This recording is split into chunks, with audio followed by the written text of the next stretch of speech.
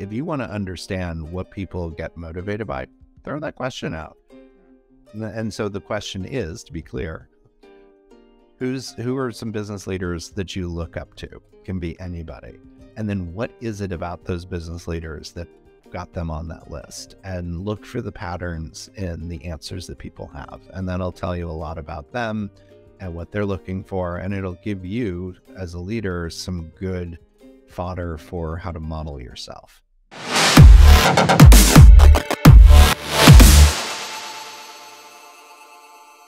Well, Rob, welcome to Empathy Led. Uh, I will give you the opportunity to introduce yourself. But before we start, I want to give a little bit of context uh, to the people that may be first time listener of, of our podcast.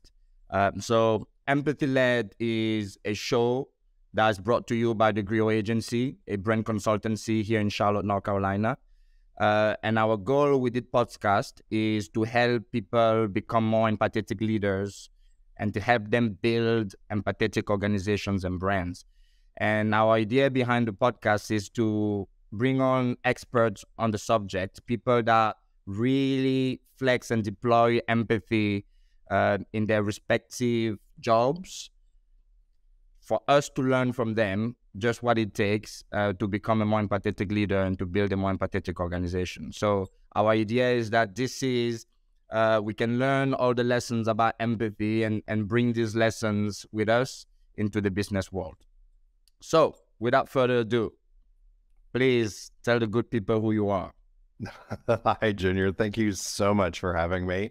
Uh, and hi, everybody. I'm Rob Volpe. I'm the CEO and founder of Ignite 360.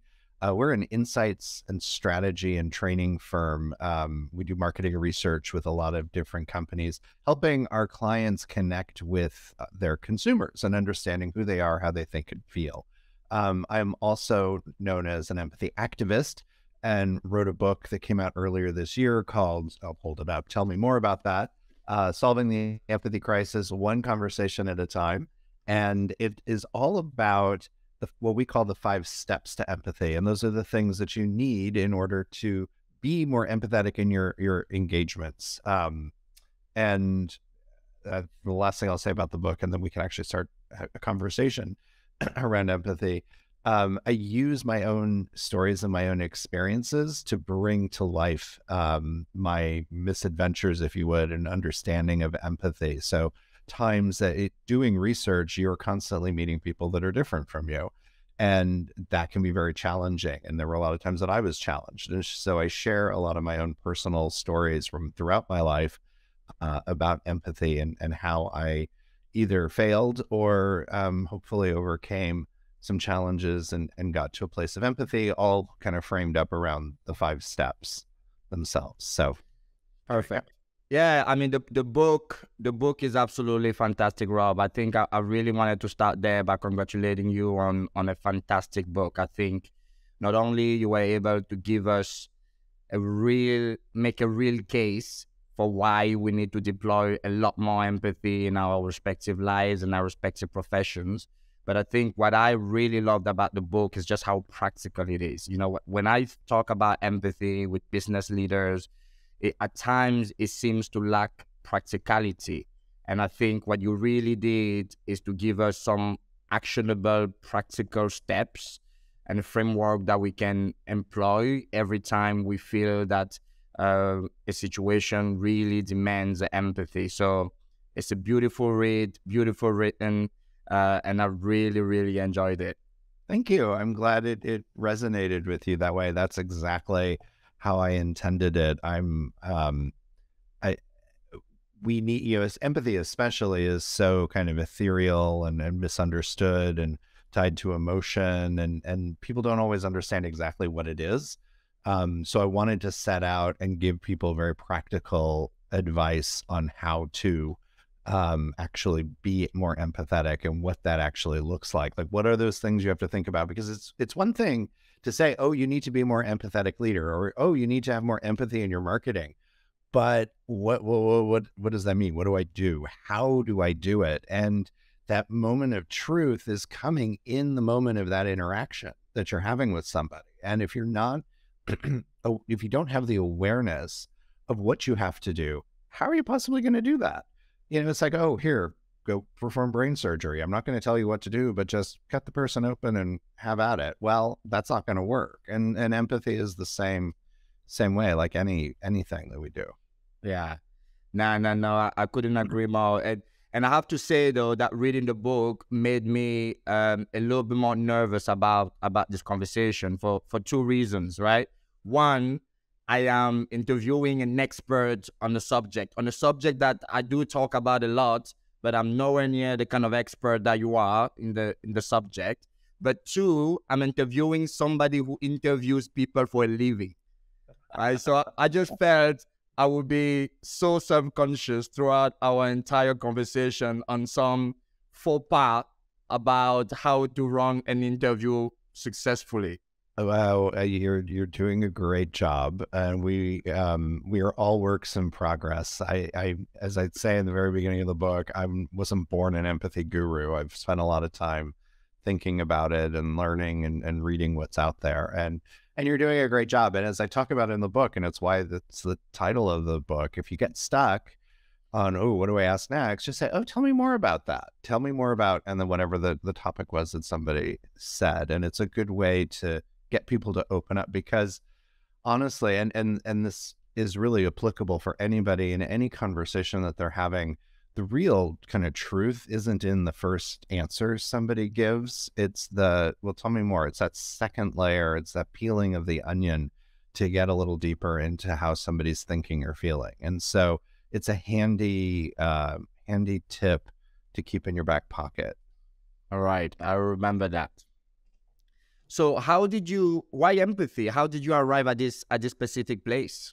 Oh gosh, I, why not empathy? I mean, it really, you know, I, I, and I, I, go into the, and tell stories about it in the book. But growing up um, in Indiana, I was othered by my classmates, and that was really painful. And empathy was the thing that ended up kind of activating within me as a superpower and helped me survive and, and get along. So from the time that I was 10, 12 years old, empathy has always just been part and parcel of, of what I do and how I move through the world.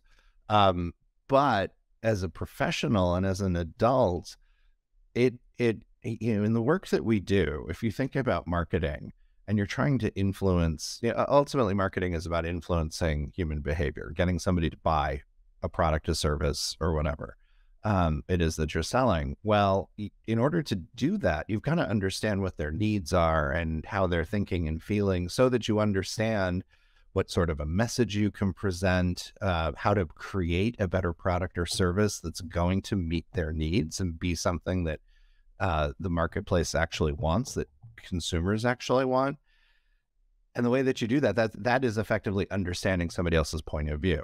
That mm-hmm. having cognitive empathy with someone. So it, it to me was kind of you know it was obvious that like oh well, this is a great fit for me. I'm empathetic and it's all about marketing and i understand people and how they think and feel. What we found though as when i launched ignite 360 12 years ago we would do these uh, engagements whether it was in-home interviews or we were doing focus groups or some other qualitative research. And the clients wouldn't necessarily really get what the consumer was saying. They were things were getting in their way from hearing what the consumer was saying, from having empathy with their consumer. And it was like, it was frustrating because A, the clients are spending a lot of money with us. We were taking a lot of our own time and putting a lot of effort into it. and there was just this disconnect that would occasionally happen. And so we started to take a look at what was going on. And that's where we identified what the five steps were um, from the barriers that were coming with our clients and, and some other things. But ultimately, it's like if we can get the clients over that hump where they can then actually have that empathetic connection with their consumer, they're going to do a lot better. And, and, some of our greatest successes um, that are you know, as I think of our greatest successes, things that our clients have taken and gone on and created great marketing campaigns, great products, um, it's because we got them to connect and understand the consumer and have empathy with them, and we were able to to achieve that. That's very powerful. It, it, hearing you, it, from me, it becomes clear in in the way you just put it.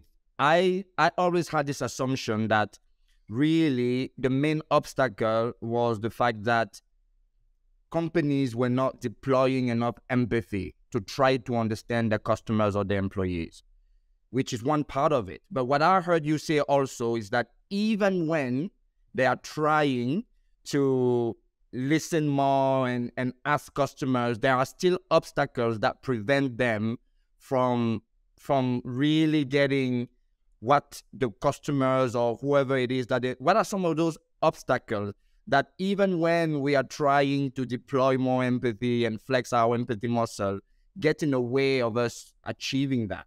Yeah well i think the biggest challenge for people to realize is that very often the a company's customer is not the same person psychographically, demographically as the employees that work at the organization.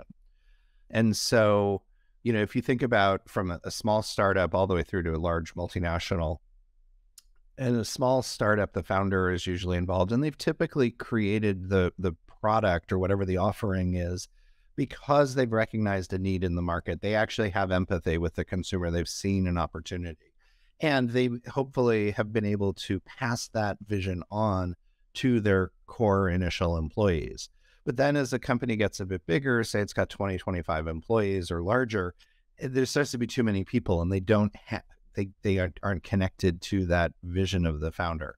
And then you continue to scale it up to larger companies, mid-sized companies, big companies. And there is no understanding, you know, innately. And, you know, if I think about some of our clients, you know, that are really large, well known brands, everybody's got an advanced degree. Um, they're all living, you know, maybe in the suburbs, maybe in an urban environment. Um, you know, they're not necessarily reflective of who their consumer is. So first and foremost, people have to embrace the fact that I am not my consumer. And and if you understand that, then that's the first step in in kind of opening yourself up to having those experiences.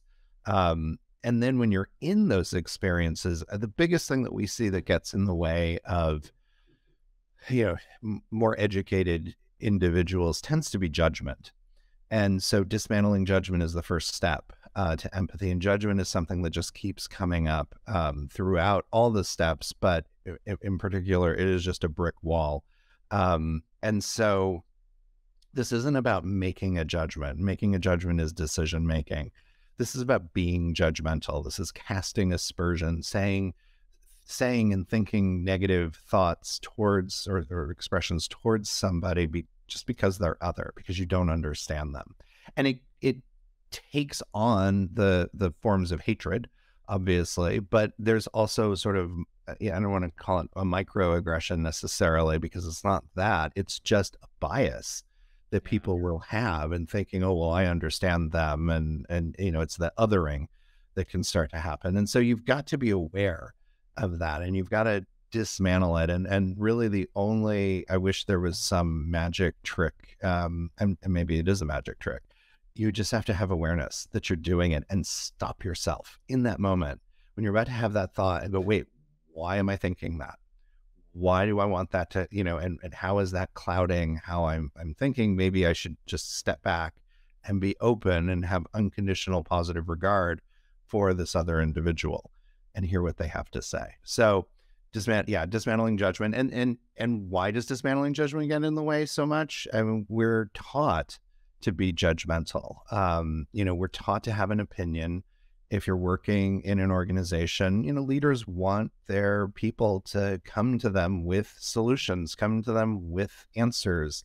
So we're we're trained to like, oh, I've got to have my opinion, and then oh, I need to fight for my opinion because I have to be right if I hope to get ahead. There's that's another fallacy people will will fall into.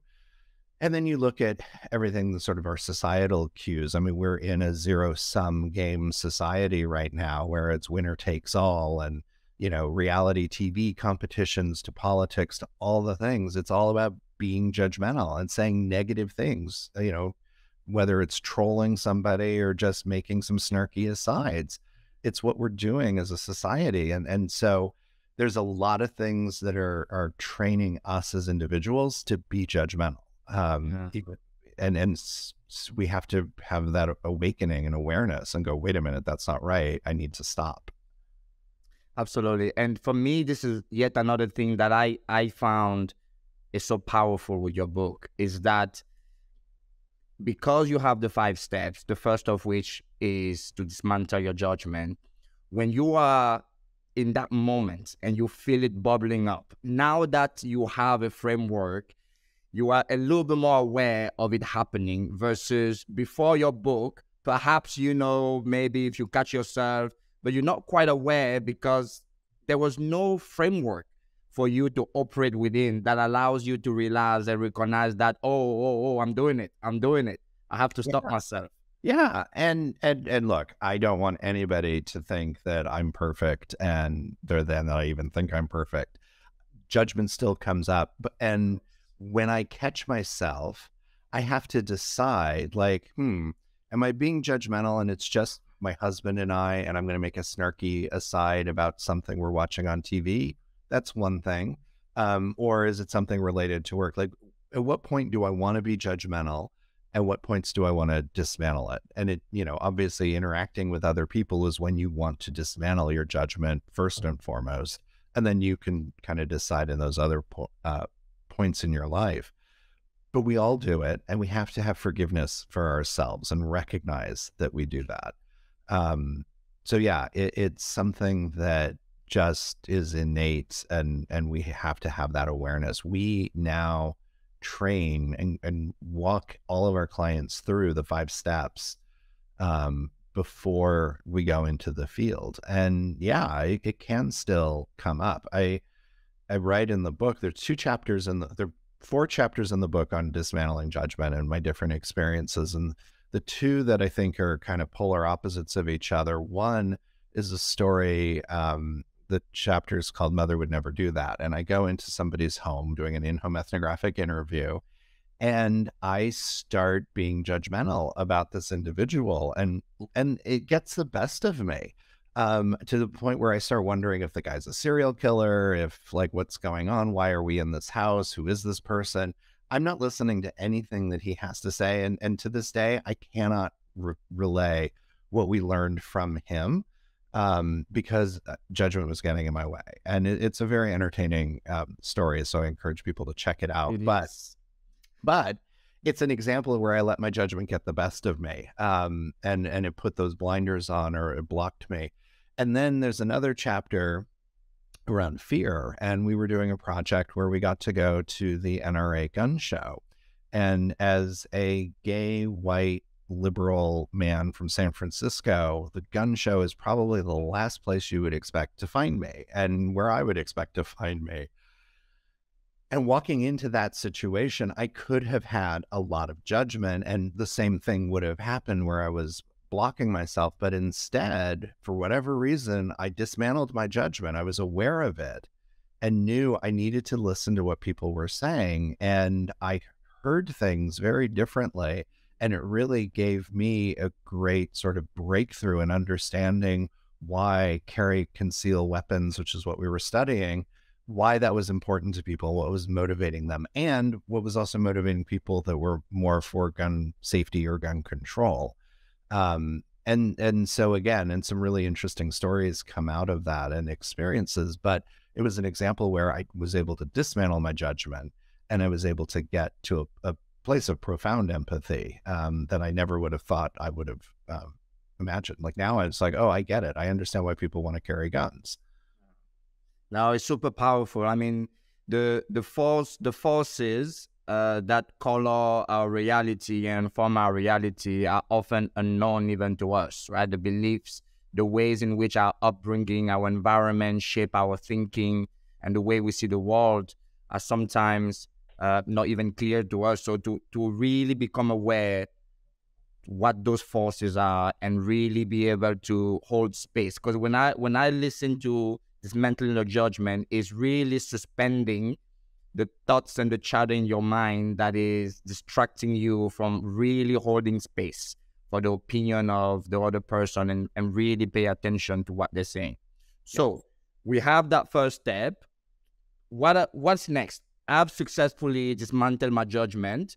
I've got myself. I stopped myself. What do I do next? So the next one is asking good questions. Uh, you need to make sure in any conversation that you're having that you're asking open exploratory questions and I, I explain that a bit more in the book but the idea is that uh, again if you ask a leading question you're going to get the answer that you want to hear rather than what's true and right for the person that you're talking to so you know they're, they're practical examples in research but if you're talking to an employee um, let's say they're late with a report or something, you want to ask them, you know, tell me, tell me about what's going on. You were late, you know, the, the report was late. Help, help me understand what was going on. And then listening to the response and active listening is the third step. But the way that I framed that question was very open. The respondent was whoever I was talking to, their response is going to hopefully be more close to their truth. Um, rather than me uh, sort of attacking them and saying, why were you late with that report? Um, and why why is so important? It, it's I mean we're all trying to understand the greater sort of why in life, but um, used as a question is really difficult for people, and it puts them on the defensive because from the time that they were, you know, two years old, three years old, what's the question that parents always ask? Well, why did you draw on the wall, cut your sister's hair, do the, you know, all the things um, that you know, then you get trained very quickly that punishment is going to follow unless you come up with a really good answer. And that sort of uh, mindset, as you were saying with judgment, like that starts to inform how you respond to that question and it follows you all the way through. Um, it goes, follows you through school and then into your adult life. So, as a leader, if you want to, you know, get the real truth from your team, eliminate the word why, reframe the question using who, what, where, when, and how. And it's challenging, it's hard, and it can actually be a really good team exercise as well. But that's an example of asking a good question because what's going to happen is the person's not going to feel defensive and they're going to just open up. Um, you know, so so they're going to open up and give you a better answer. So there's that. There's asking questions that are more open, meaning they're exploratory rather than saying, um, what do you think of working in the office again?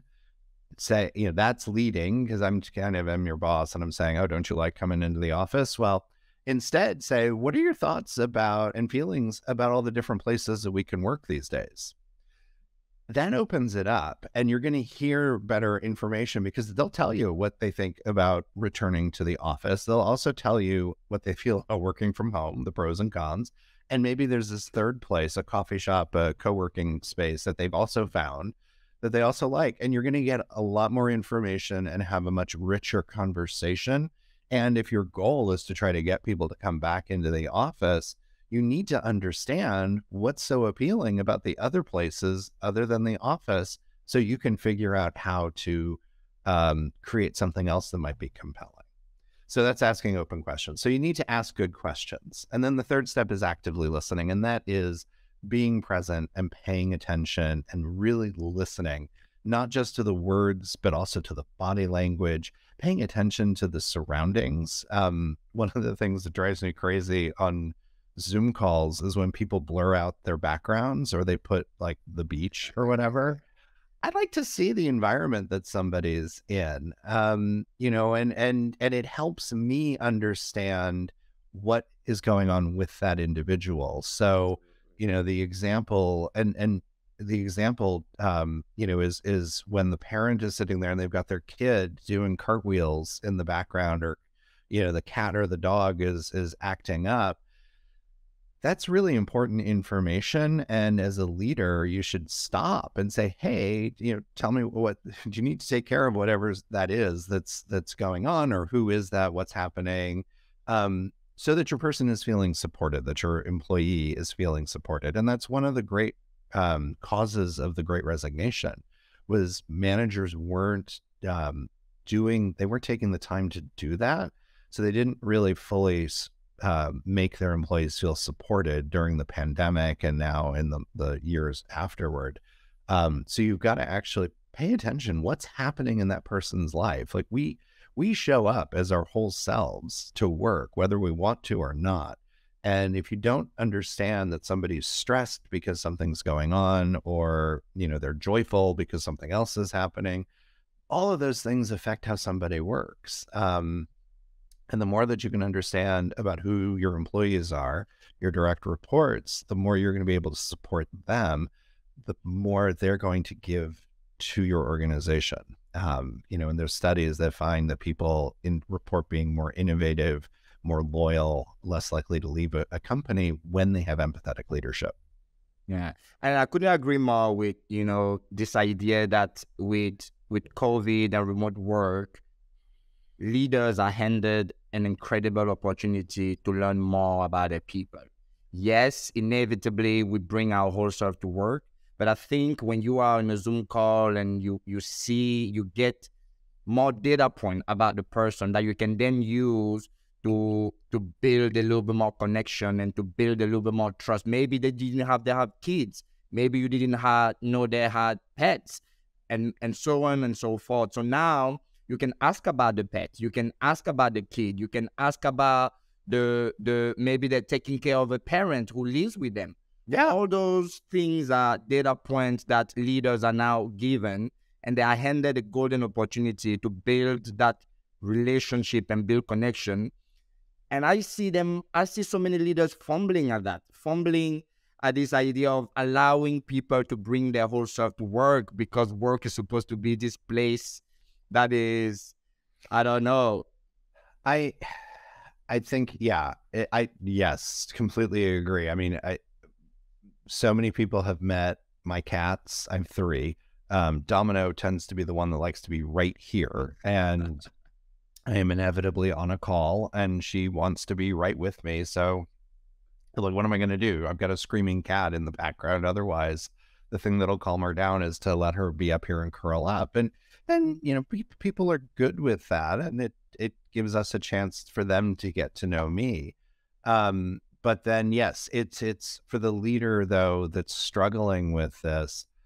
Yeah, it's hard. This is not how we were conditioned and trained. I mean, we're we're fighting against 80 years of what work it was supposed to look like, which was not emotionally supportive. It was, you know, it wasn't that long ago that the three martini lunch was still a thing. Um, you know, and and 30 or so years ago got that moved out of fashion for most people. Um and and so it is this is one of those changes, but this change is happening very rapidly and it can be very difficult for people to adjust. And I think as a leader, the questions I would want to ask is Are you, um, um, uh, are you, what are you wrestling with? Um, are you wrestling with the fact that you know you've got to try to connect with individuals? Are you wrestling with like the way things used to be? Is there something else going on? Like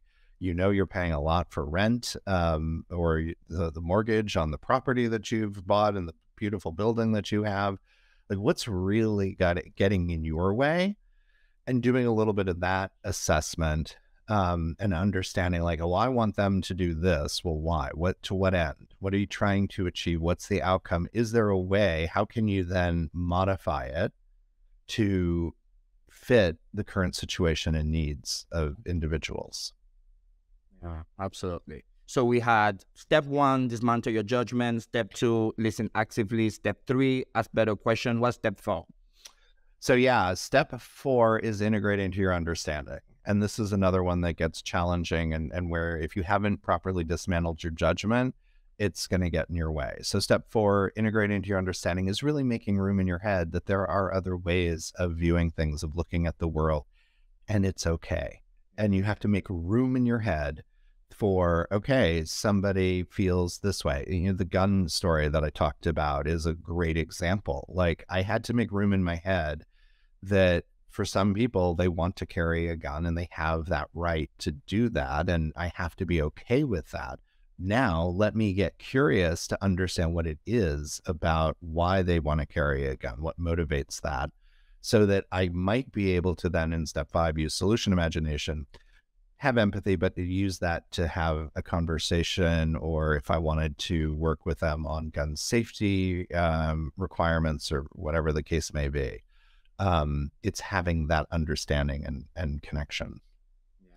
I mean, for me, the moment I realized that there were other versions of reality that were different than mine, but was still as valid as mine, it was it was an aha moment. It was a breakthrough because I think we have this false idea that reality as we know it is an objective experience, but really it's a, subject, it's a subjective experience that is colored by our own beliefs, our wants, our needs, our fears, our insecurities.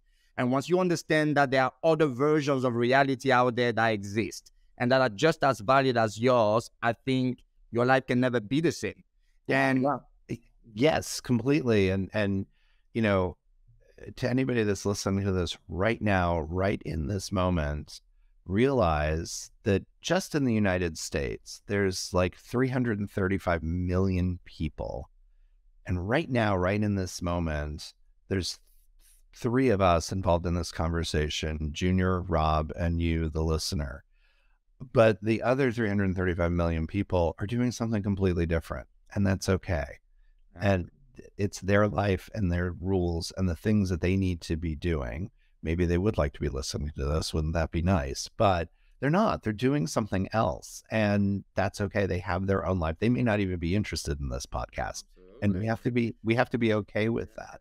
Um and, and yeah, you're you're right. It is a very sort of heady realization that the universe doesn't revolve around me.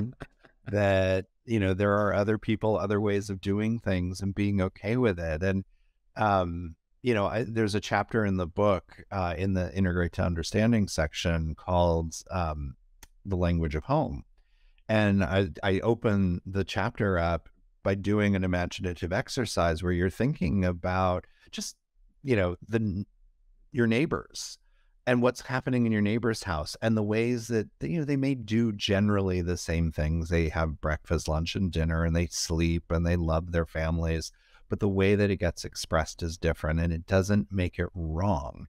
It's just what's right for them. And that's what we need to be curious about. And we need to make room in our head that, you know, not everybody celebrates a holiday in the same way. And that's okay. You know, not everybody has the same political belief, and that's okay. It can actually make us stronger if we can get curious about it and lean into it. Um, so, yeah, so uh, integrate into understanding is the fourth step. Beautiful. The biggest illustration of this idea of reality being a subjective experience is uh, optical illusions. When you when you show two people the same image and they see different things, and despite of how hard you try to see what the other person is seeing, at times you cannot.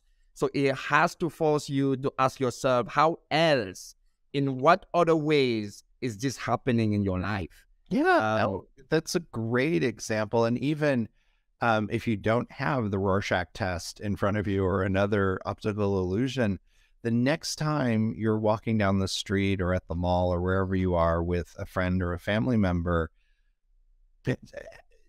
pay attention to the things that each one of you notices. And typically, what happens, and I write about this in a chapter about perspective taking, where you know, my husband and I will be walking down the street. He tends to look at all the people and he comments on the way somebody is dressed or something that he sees with the, the individuals where I'm looking at the buildings and the signs and the marketing that's out there. And, and that's kind of what I focus on.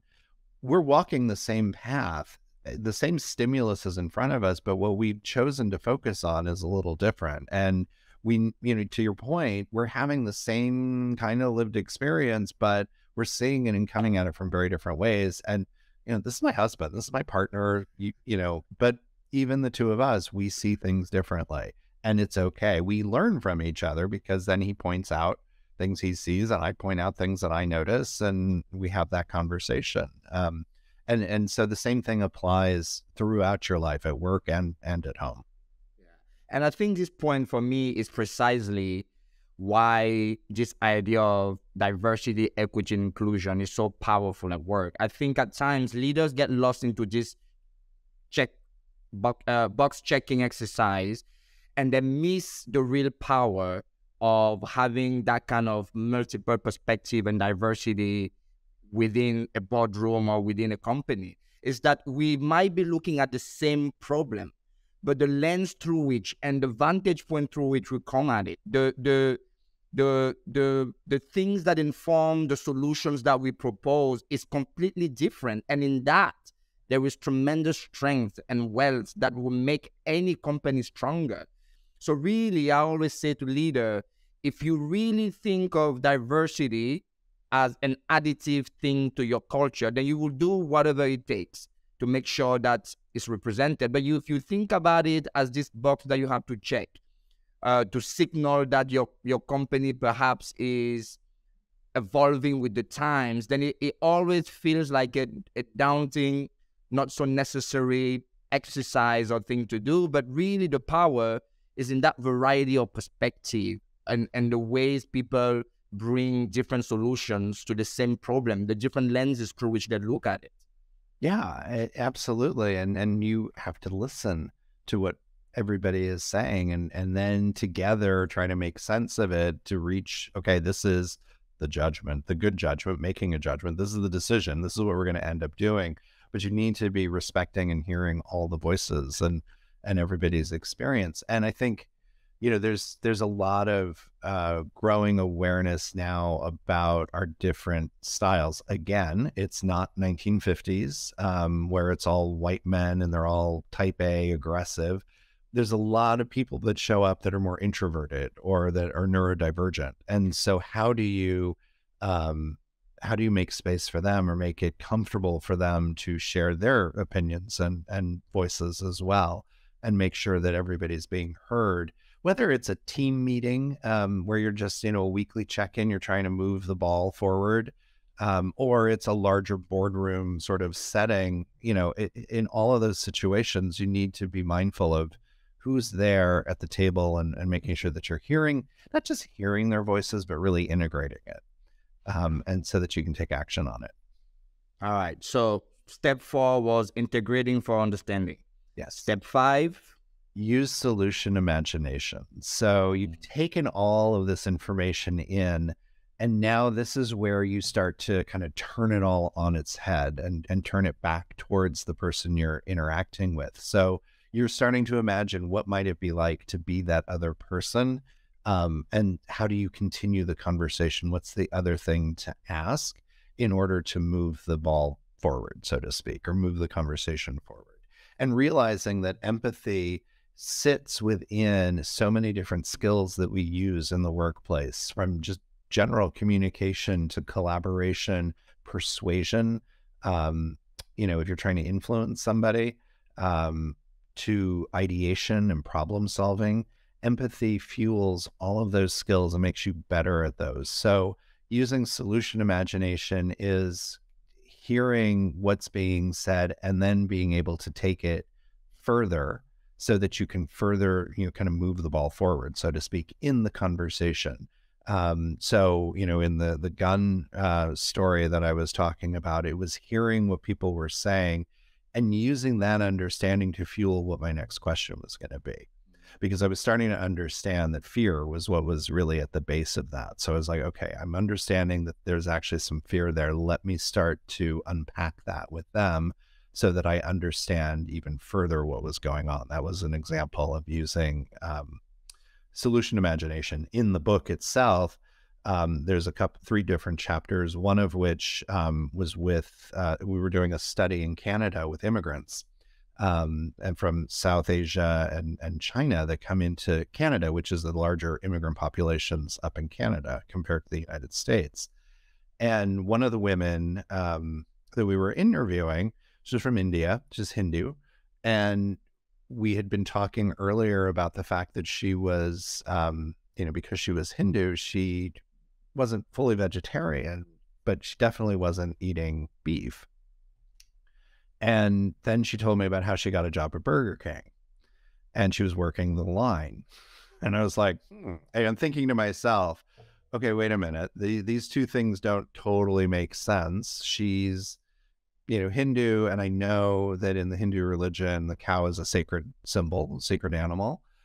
Yet she's having to flame broil the sacred symbol. Like, what? You know, and, and so I was using solution imagination, putting myself into her shoes, imagining if I had those values and I was having to stand there and flame broil my deity, what would that feel like? and what was that experience like and so i asked her and then i'd share the uh, what she had to say and it was very moving and powerful but that's an example of using solution imagination i was hearing what she was saying i was connecting the dots i was integrating it into my understanding and i was turning it around to inform my next question yeah yeah i mean to your point when you really think about this this is such a powerful thing that although I'm a I'm an African, a black man in America living in America, that I can I can understand the hopes, the dreams, the aspirations, the fears, and perhaps even the insecurities of a mother in Afghanistan. Although our experiences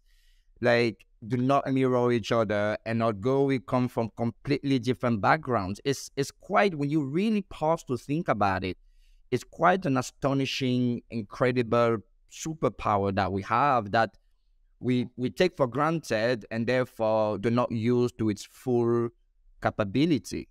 Yeah, it is. And and and yet when you get it right, when you do it and you get it right, um, you know, if you're in marketing, like if you look at the most successful marketing products, campaigns, empathy is at its core and understanding who the consumer is. Whenever they say, oh, that really connected with the audience, the connection they're talking about is empathy. There's an empathetic connection that I understand you, therefore it resonated with you, therefore, you know, you bought this product or, or service. Um, and as a leader, you know, the leaders that people look up to individually, and I'm not talking about the celebrity leaders that are on Twitter or own Twitter or whatever, but the actual leaders that if you ask anybody who's a business leader that you look up to or admire, they're probably going to tell you somebody that they personally know and have worked with, and they will probably, and you ask them, tell me more. Tell me more. What is it about that person um, that that put them on that list for you? They will share that they listened to me, they supported me, I felt safe, uh, they took you know care of me, they looked after me, they had a vested interest in me. All of those things are about empathy. Um, and they're they're using the tools that show empathy, and that's the connection that's being made. It isn't oh he made billions of dollars, therefore I want to be just like him. Um, it's oh no this this person is somebody that looked up to me. That's or you know that I look up to because they had empathy with me. So um, it, it's actually a great question for people to ask their teams. Like you know, if they if you want to understand what people get motivated by, throw that question out. Yeah. And so the question is, to be clear, who's who are some business leaders that you look up to? Can be anybody. And then what is it about those business leaders that got them on that list and look for the patterns in the answers that people have. And that'll tell you a lot about them and what they're looking for. And it'll give you, as a leader, some good fodder for how to model yourself. Who come to mind for you when you think about that question? And it doesn't necessarily even have to be a business leader, just just a leader, somebody who has had an impact in your life. It can be a business leader, or we can have or just a general I mean, the people that have had the most influence on my life are the people that have been involved in my life. Um, and that, you know, so early bosses come to mind as people that helped me understand, um, they helped me understand how to move through the world, but they made it safe for me to find my own way to move through the world and to be myself um, and not have to kind of conform um, to some sort of, you know, structure. Um, so th- there's several bosses early on in my career that I would say my dad tremendous influence. He was in sales, um, you know, and he he taught me a lot. My mom as well, very you know, I, I call my mom a silent badass. Um, she did. She's done so much um, volunteer work and other activities, um, you know, and, and, success in her own career. But she's very, very humble about it. Um, you wouldn't necessarily know, looking at her, that oh, she went and lobbied Congress about breast cancer research and breast cancer advocacy, and helped support groups and and you know other nonprofit activities from the time that I, as long as I can remember. So those are all individuals that have had a big influence on me.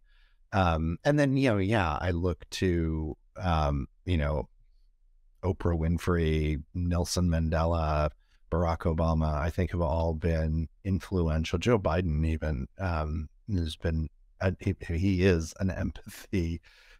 You know, if you want to know an empathetic leader, that's actually out in the world, I would say Joe Biden is probably the biggest uh, current example of that. Whether you agree with his politics or not, he uses empathetic language. He reflects empathy. Um, you know, I, I, I do know some people in the White House, and everything that I hear is that they he is you know that that is what you you see. He does genuinely care and reflect that. Um, so yeah, that, that I would say are the immediate ones that are coming to my mind. Yeah, beautiful. So what what is an empathy uh, activist, an empathy activist, and and how did that come about? Like what? Yeah. yeah. Uh, so I loved the tension between the two words, um, empathy and then activist. And because, as we were saying earlier, empathy is very soft, and activist is like, oh, people think, oh, they're marching on the street and protesting and, and all of that. Well, when you look at the real definition of the word activist, they're somebody that's campaigning for a change. Mm. And there's a lot of different ways to campaign for change. You can march on the streets, and, and that's really necessary and needed.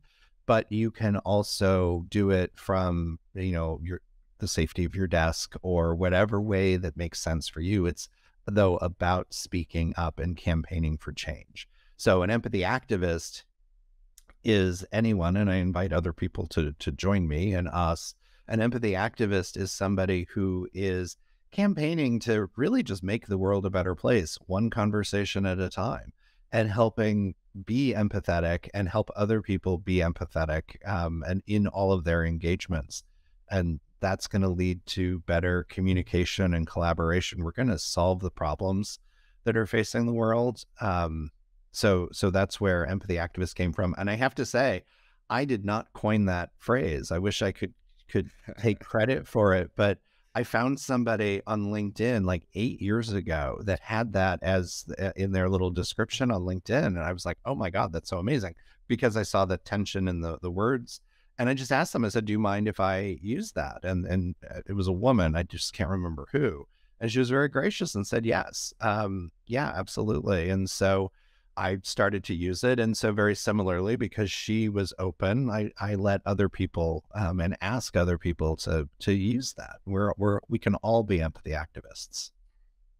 Well, beautiful. I I think uh, I I might borrow that myself because I very much, in the way you put it, consider myself somebody who hopes to really bring about some change, uh, leveraging the power of empathy. I think it's it's an incredibly powerful ideas for, for marketers to connect with customers, an incredibly powerful idea for leaders um, to connect with the employees.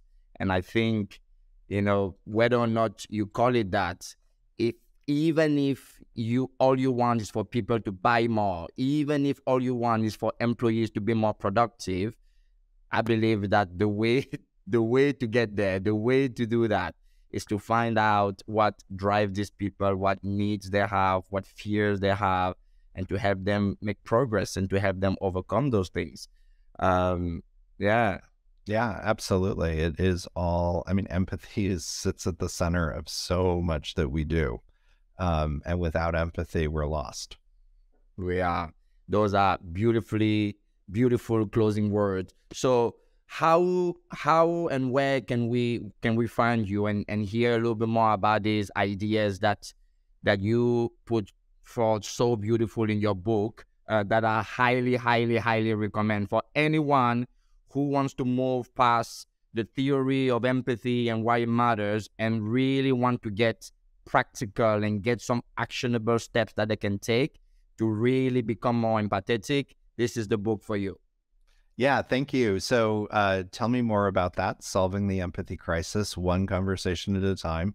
Uh, the book is available in hardcover, in ebook, and also I narrated the audiobook. So, wherever you buy books and in whatever form the book is available. So, whether that's your independent bookseller, Amazon, um, you know, Barnes and Noble, or another uh, book source, Apple Books, uh, it is available there. So, please check that out. You can also uh, would love to continue the conversation if people want to find me on LinkedIn, Rob Volpe, V O L P E. Um, you can also find me. I'm pretty active on Instagram as Empathy Activist. Um, and if you have Peloton, I'm also Empathy Activist on Peloton. Give me a high five there, uh, and any of the other socials as well. Um, and then my website uh, for my company, if you're interested in learning more about consumer insights, the company name is Ignite 360 and the website is ignite, I-G-N-I-T-E dash 360.com. And then the website related to the book and speaking engagements and, and workshops and things is the number five, five steps to empathy.com. So number five, steps to empathy.com. So I hope people connect. I would love to continue the conversation. And yes. thanks, Junior, for an amazing chat today. No, thank you. Thank you for making the time. We will make sure to add uh, all the relevant information for how people can find you and how they can have access to the book on, on the show notes. And I wanted to close by really, really thanking you for the work that you do, both in the marketing sphere of really helping brands connect with customers, connect with people at a human level, and allowing them to really flex and deploy the empathy muscle for those people. And then for the work that you do, just really bringing a little bit more awareness and giving us again the steps in how to be more empathetic in our respective life, whether it's personally or professionally. Thank you so, so much. Uh, our world definitely needs more empathy activists. It, we do, and thank you, Junior, for the work you guys are doing and helping spread the word. And you know, it takes all of us to do this. So um, let's let's go. We all have a, a role to play. All right, I have my marching orders, so I will I will take them and I will run. awesome. Everyone else does too. That's listening. Well, thank you very much. It was an amazing conversation. Thank you, Junior. Really appreciate it.